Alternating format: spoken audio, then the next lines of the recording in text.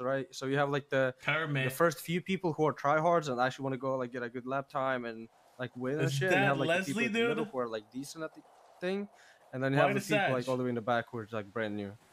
So you you will have like uh what you call it like you will have competitiveness no matter where you are on the field, I guess. Dude, I'm joining NBC, bro. That's something I'm interested in for sure.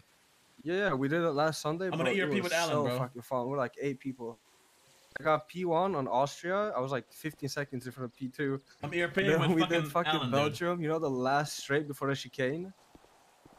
I ran out of gas. P1. Banned? For how Oh, long? no. so I had to like go Seven down the fourth gear to like keep my momentum up and like cut the chicane